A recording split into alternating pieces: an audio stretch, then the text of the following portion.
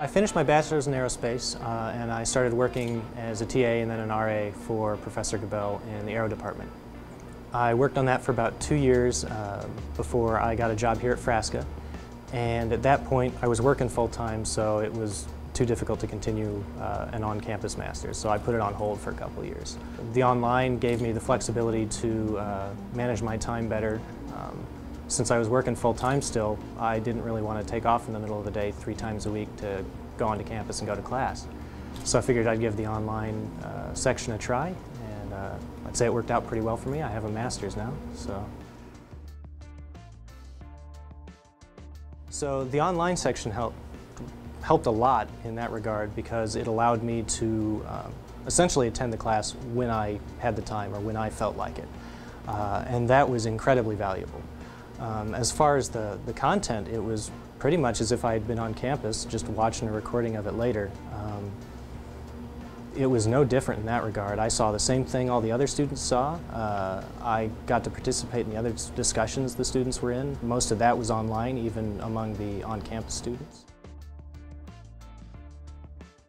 Uh, it didn't really feel any different than it would have on campus. Uh, I, back from when I was on campus, a lot of the interaction was done in the same way, through email, through message boards. Um, here and there I would interact in person, but it's not really that much different than what the online section was. Uh, especially probably moving forwards, uh, even more on-campus students are probably going to interact more and more through online means. That's kind of how the culture is going. So an online section really isn't any different from an on-campus section in that regard.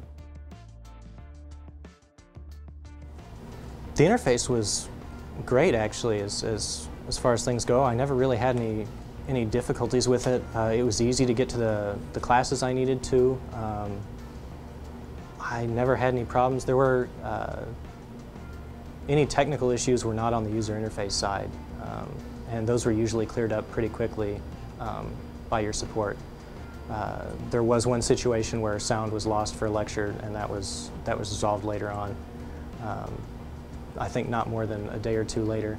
Uh, so, I, yeah, I don't feel like I missed anything more than if I had missed a lecture being sick, uh, which I don't have that problem with an online section. If I'm sick, I can still still attend lecture, just right from home.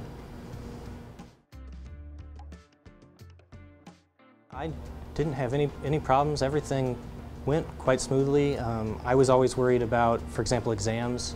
Uh, exams weren't administered online, they had to be administered in person, and I had uh, one of the managers here proctor for me.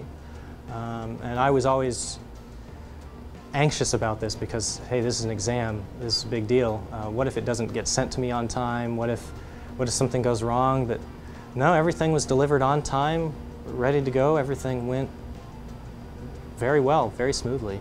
I didn't have any trouble. I would absolutely recommend uh, doing an online degree, uh, especially for anyone trying to uh, work a full-time job or even a part-time job. Uh, I think it's a, a, great way to start or finish a degree. Um, I, I would actually prefer it to the uh, on-campus sections, uh, to be honest.